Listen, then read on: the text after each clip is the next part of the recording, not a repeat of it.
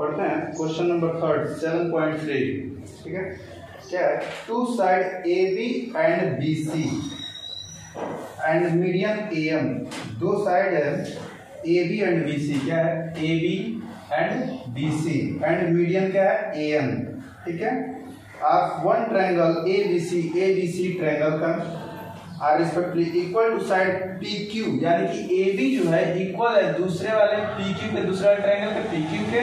और हमारा B C equal है क्यू आर के और इसने दिया है मीडियन मीडियन क्या होता है? ए एम इक्वल होगा पी एम अब मीडियन होता क्या है? मीडियन है। अगर मान लीजिए कोई ये लाइन है, ठीक है? अगर इसका कह दिया है कि इसका मीडियन ये है, ठीक है? यानी कि ये कह रहा है कि हाफ़ पार्ट इधर है और हाफ़ पार्ट इधर है। ये हमारा मीडियन होता है, ठीक है?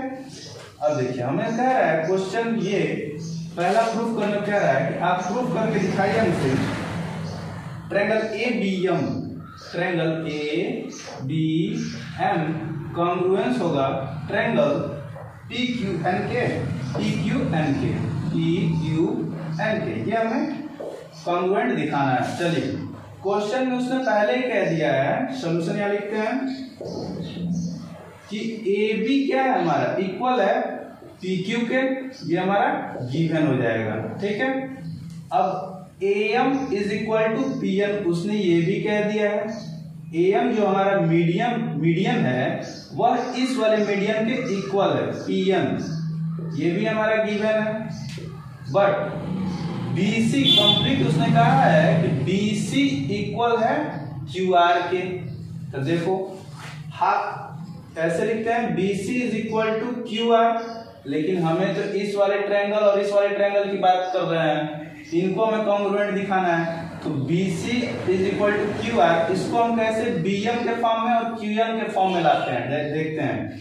Half of B C is equal to half of Q R equal होगा इसका ना हाफ़ ऑफ़ तो यह हमारा क्या है मीडियन है ए एम क्या है मीडियन है यानी कि B M half of B C की जगह हम क्या लिख सकते हैं B M is equal to half of Q R की जगह क्या लिख सकते हैं क्यू एम एन तो देखो, हमारा क्या हो गया? ये हो गया साइड ये भी हमारा क्या हो गया? साइड और ये भी हमारा क्या हो गया? साइड तो कॉन्ग्रुएंसी रूल हमने पढ़ा है साइड साइड साइड ठीक है? ये हमारा क्या है? कॉन्ग्रुएंसी रूल है। कॉन्ग्रुएंसी रूल है। ठीक है? कॉन्ग्रुएंसी रूल से अब हमारा कौन कौन सा ट्रायंगल इक्वल हो जाएगा? कॉन्ग्रुएंट होगा triangle A B M congruent हो जाएगा ट्रायंगल पी क्यू एन के जो हमें यही शो करना था प्रूव करना था, आप प्रूव कर कर सकते हो ठीक है? कोई प्रॉब्लम नहीं। अब इसका जो सेकेंड पार्ट है, इसके जस्ट बात करते हैं। स्क्रीन शॉट ले लो आप। चलो, करते हैं।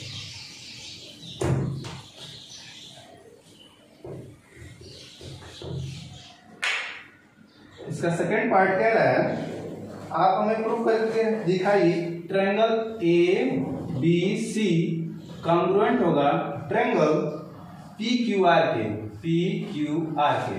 तो यहाँ पे ये जो फिगर बना था ठीक है? ये फिगर बना लेते हैं।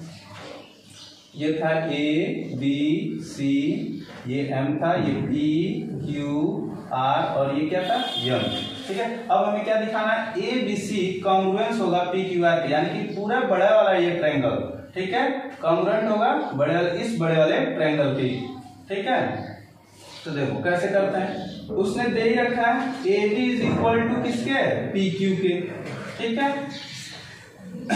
A B is equal to P Q दिया है। और क्या दिया है हमारा? B C is equal to Q R दिया है, ठीक? और देखो, हमारा क्या दिया है? A M is equal to P M दे रखा है। A M is equal to P M दिया है। यानी कि यह साइड और यह साइड इक्वल है, ठीक है? यानी कि इसके सामने वाला एंगल ये और इसके सामने वाला एंगल ये, क्या होंगे हमारे? इक्वल होंगे। साइड के, अगर हमारे ये दो साइड हैं देखो ये हमारा ए बी सी हो गया। अगर ये साइड और ये साइड आपस में इक्वल है तो इनके अपोजिट एंगल क्या होते हैं? इक्वल होते हैं। यानी इसके सामने वाली साइड ये और इसके सामने वाली साइड ये। इक्वल होगा। सेम वैसे ही, आप देखो। ए एम के सामने वाली साइड ये है और पी एम के सामने वाली साइड ये है। ठीक है? A M is equal to P M है, यानी कि इनके सामने वाले एंगल क्या होंगे? इक्वल होंगे। यानी कि यहाँ पे लिख देते हैं angle A D M is equal to angle P Q N ये देखो, ये साइड हो गया, ये साइड हो गया, और ये क्या हो गया? एंगल हो गया, ठीक है? तो देखो साइड ये side angle side side angle side से हमारा क्या हो गया ये? प्रूफ हो गया कि ये कॉन्ग्रुएंट होगा। तो हम लिख देते हैं from side angle side congruency rule ठीक है? लिख देते हैं triangle A B C congruent होगा ट्रेंगल पी क्यू आर के। ओके